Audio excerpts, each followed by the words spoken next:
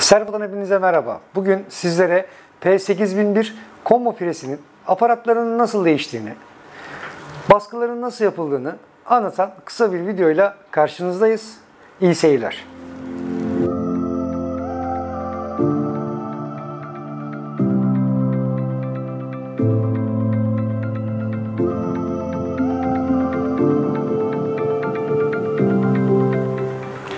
Sizlere şimdi P8001'in hangi aparatları olduğunu anlatacağım. Bunlardan bir tanesi düz presimiz.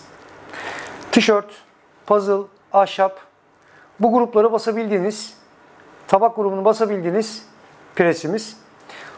Artısında kupa presimiz ve son olarak şapka presimiz. Bunların aparat değişikliği nasıl yapılır? Bunları da anlatacağım. Aparat değişikliği yaparken dikkat etmemiz gereken hususlardan bir tanesi kesinlikle ve kesinlikle enerji fişinin takılı olmayışı. Makineyi açma kapama düğmesinden kapatsanız bile kesinlikle enerji fişini takılı bırakmayın. Takılı bıraktığınız andan itibaren yaşayacağınız en kötü olay anakartı yani baskı kontrol panelinin arızaya girmesidir. O yüzden mümkün olduğu kadar kesinlikle ve kesinlikle enerji fişini takılı bırakmadan aparat değişikliği yapıyoruz. Birazdan sizlere aparatları nasıl değiştirdiğimi göstereceğim. Nasıl sökülür, nasıl takılır, hangi aparat ne kadar sürede baskı yapar. Hepsini bunların size birazdan anlatacağım. Şimdi cihazımızın kontrol panelinde ısı ayarı nasıl yapılır size onları göstereceğim. Ve ardından aparatlar nasıl değiştirilir onları tarif edeceğim. Öncelikle enerji fişimizi cihazımıza takıyoruz. Daha sonra yanındaki açma kapama düğmemizden cihazımızı açıyoruz. Makinamızın üstünde bulunan setup tuşuna bir kere basıyoruz. Ayarlamamız gereken ısıyı ayarlıyoruz. Tekrar setup tuşuna basıp ayarlamamız gereken saniyeye ayarlıyoruz.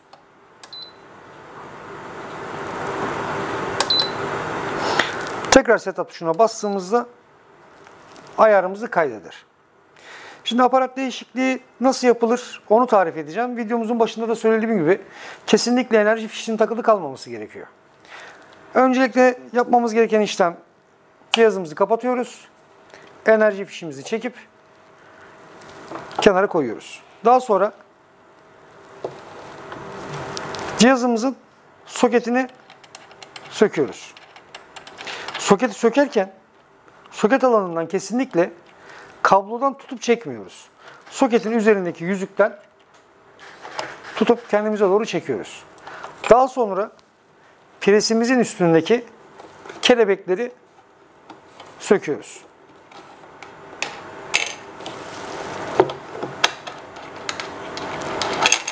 Bu işlemi sadece P8001'lerde şapka presi için yapıyoruz. Diğer presler için cihaz üzerinden herhangi bir söküm işlemi yapmıyoruz. Daha sonra presimizin üst tablasını alıp kenara bırakıyoruz. Daha sonra buradan şapka presimizi alıyoruz.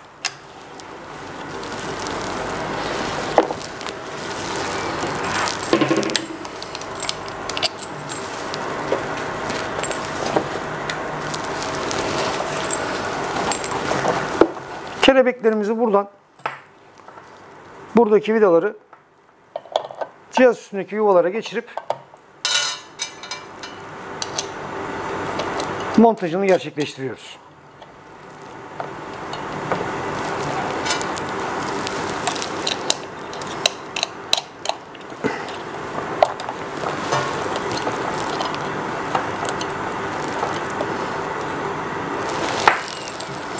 Daha sonra soketimize şuradaki kanalın, kanal boşluğunun pres üzerindeki yuvasına girerken aynı hizaya gelmesine özen gösteriyoruz.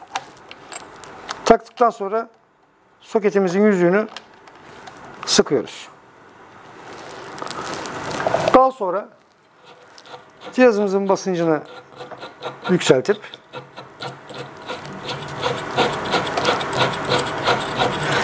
şapkamızın piresini oturtacağız.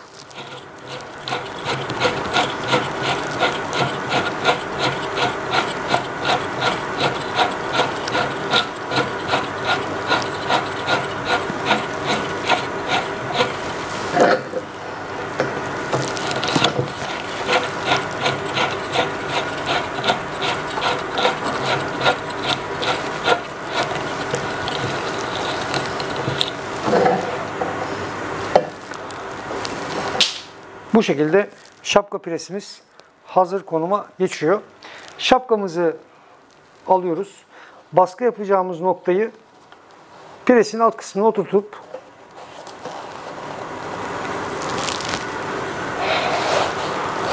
uygun sıcaklığı ve süre ayarladıktan sonra kolumuzu indirip şurada görünen mod tuşuna bir kere basıyoruz.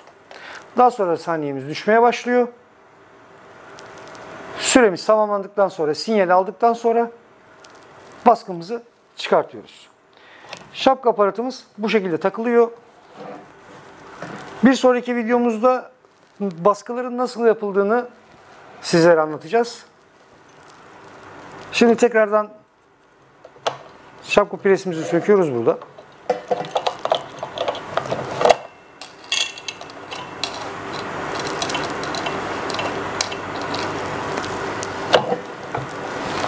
Bakın enerji fişi kesinlikle takılı değil. Tekrar sökerken yüzükten tutup çekiyorum ve presimi kenara koyuyorum.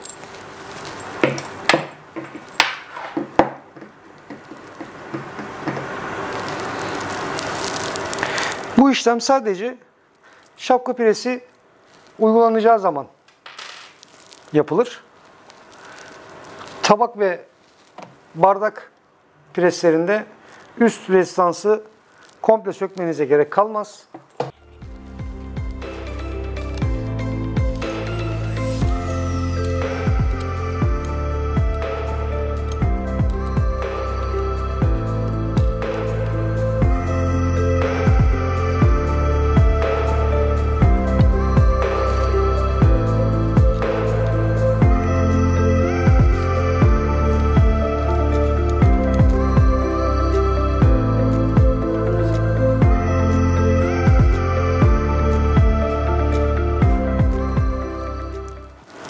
Düz presimizi taktık.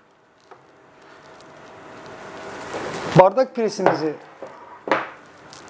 takarken de sadece soketi takmamız yeterli oluyor.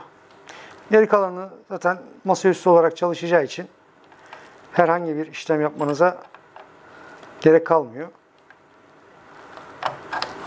Bu şekilde oturtup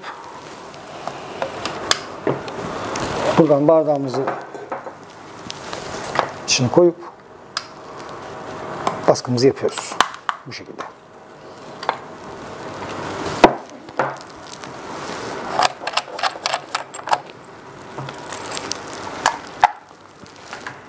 Son olarak sizlere tabak piresinin nasıl kullanıldığından bahsedeceğim. Tabağımızın boyutuna göre tabak matımızı birbirinden ayırabiliyoruz. 15 santimlik ve 27 santimlik tabaklarda rahatlıkla kullanabiliyorsunuz. Bu şekilde tabağımızın üstüne koyuyoruz.